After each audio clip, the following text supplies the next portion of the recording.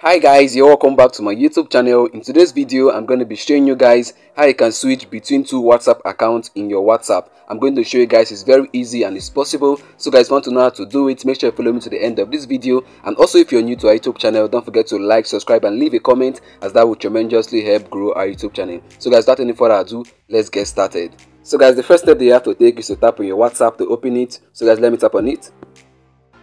So in this video today, I'm going to be showing you guys two methods on how you can do it. The first method is going to be the easy method, the shortcut, while the second one is going to be the proper method. So guys, want to know how to do it? Let's go. So guys, here's the first method, which is the easy one and the shortcut. So guys, the first step you have to take now is to tap on the three horizontal dots at the top right corner.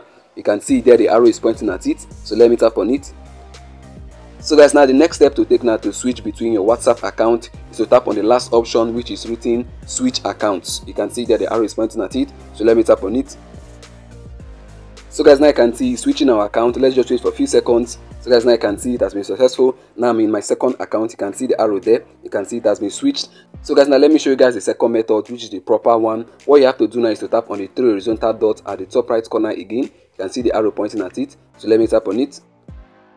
So guys, now the next step that you have to take now is to tap on the second to the last option, which is written settings. You can see there the arrow is pointing at it, settings. So let me tap on it.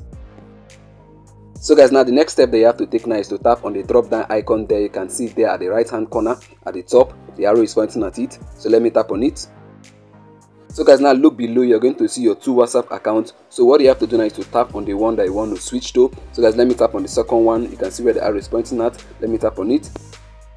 So guys, now you can see switching me to my other account. Let's just wait for a few seconds. Bam. So guys, you can see it. We've now been switched to our other account. So guys, this is how you can actually switch between your multiple accounts on WhatsApp. So guys, I've come to the end of this video and I believe you've got value from this. If you did, make sure you like, subscribe and leave a comment. And also if you're new to our YouTube channel, don't forget to hit the bell notification so that whenever I release a new video like this, you're gonna get notified. See you in the next upload. Bye bye. Peace.